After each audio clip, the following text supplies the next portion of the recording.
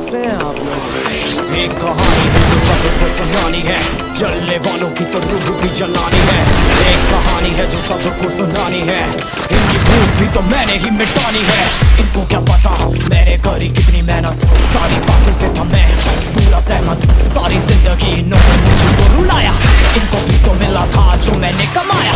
रोते रोते भी इनको मैंने चलाया फिर भी इन्होंने सारा धक्का मेरा खाया। ये सारी इनकी माया। इनका ही खाना साया के पूरे देश का दिल दुखाया इन्हें लगता है मैं एक फकीर हूँ अगर ये हाथ है तो मैं इनकी लकीर हूँ जिन हाथों ने है मुझको दबाया उन हाथों की तो देख बेटा मैं जंजीर हूँ इंग्लिश में गाली देने वाले लगते कूल हिंदी में देने वाले लगते इन्हें फूल फूल से भर रहा देख मेरा फूल तो